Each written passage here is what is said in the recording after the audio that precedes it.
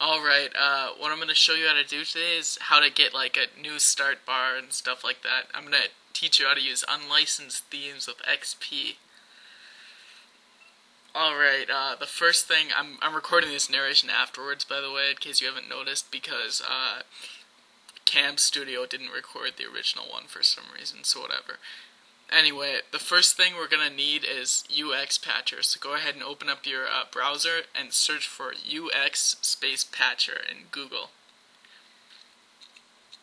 The first link is good. Just go ahead and click the first link and then click download.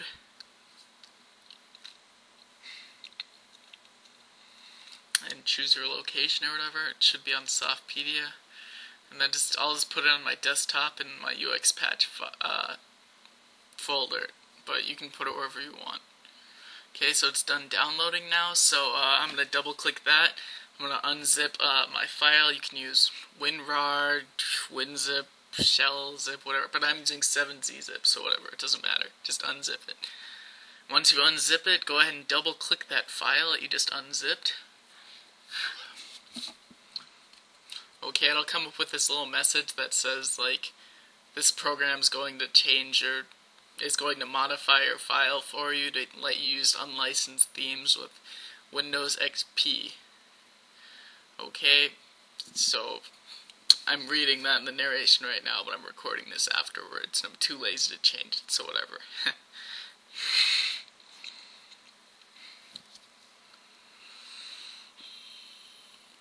okay. Okay. So now, uh, now it's going to tell you to uh, press cancel after pressing OK or something. No, no, that that actually tells you your if all that information is correct, then you press OK. Okay, now now it's going to ask you if you're sure, and yes, you are. Now it's going to tell you when the Windows thing comes up, press cancel because it's detecting that you're trying to change one of the system files, so it's trying to stop that because you're not supposed to do that, but you want to do it for this, obviously. So just go ahead and press cancel like the message says. Or then press yes, I want to cancel. So then that's done. So then I'm going to turn off the uh, thing now so that I can restart my computer because you got to restart your computer to boot with the modified file. And it'll do that after you press OK.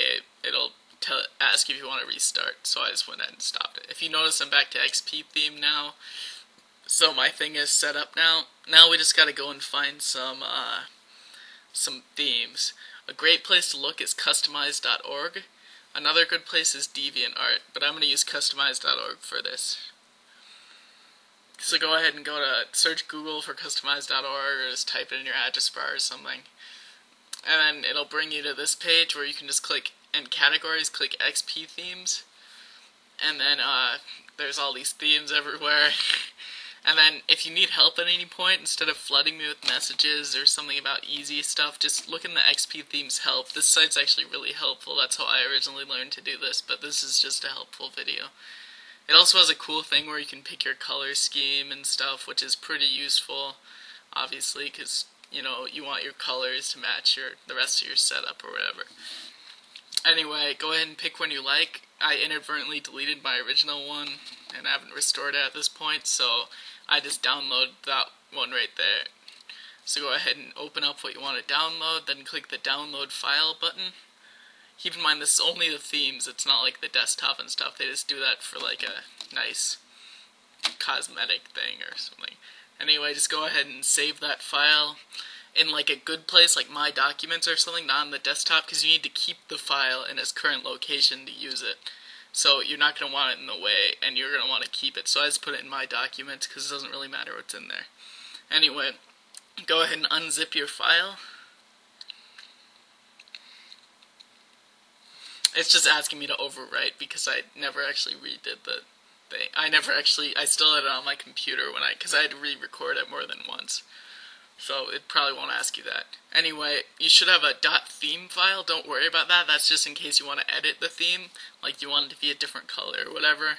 But what you're going to want to go and find is the uh, MS Styles one, and just go ahead and double click that, it'll bring up your display properties, and then your theme should already be selected, then just go ahead and click apply, and then it, it applies the theme and you're good. See, there's a cool black bar now, so that's pretty cool. So, anyway, that's really all you need to do. There's cooler stuff, you know, like get a cool desktop background or whatever, but you should be able to figure that out on your own. The themes is really the only hard part that people aren't really sure about how to do and stuff. Anyway, uh, you can thank PraiZeRaps for me doing this tutorial. Just ignore what's going on.